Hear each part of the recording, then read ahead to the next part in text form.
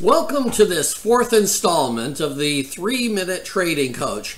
I'm Brett Steenbarger with our videographer Elias Francoeur. And today we're going to talk about improving your trading by exposing yourself. Uh, okay, get your mind out of the gutter here.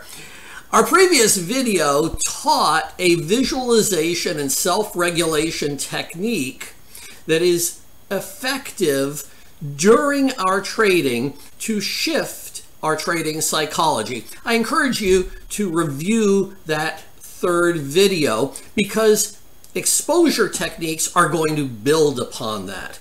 It turns out that exposure is one of the most effective techniques in the psychology research for the treatment of anxiety and other conditions of high arousal. Here's how it works. Once you're good at that exercise we taught in the third video, where you're visualizing something peaceful and relaxing, and you are breathing deeply and slowly, and keeping yourself calm and focused, you then replace the relaxing, peaceful images that you've been focusing on with specific stressful situations that you visualize. We start in a hierarchy with minimally stressful situations, and then we gradually build up more stressful, more stressful, until we get to our most stressful situations. So what you're doing in practice is you're doing your deep breathing, sitting still, keeping yourself very calm, while you are vividly imagining specific trading scenarios that in the past have been stressful for you. Maybe it's getting stopped out of a trade. Maybe it's missing an opportunity. Maybe it's a market suddenly moving against you on news.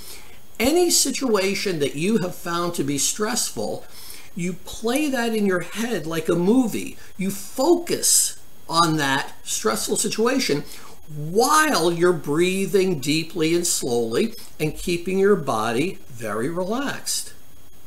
So imagine doing this again and again and again and again. Just as before, practice is really the essence here. Once you have paired the relaxation and the focus and the calm with the stressful situations again and again and again in practice, then in real life, when those situations occur, instead of getting stressed out, it brings back the relaxation, the focus.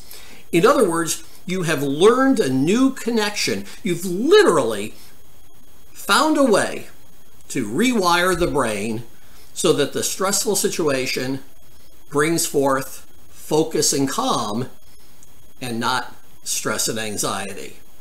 This has been the three minute trading coach. Thanks for listening.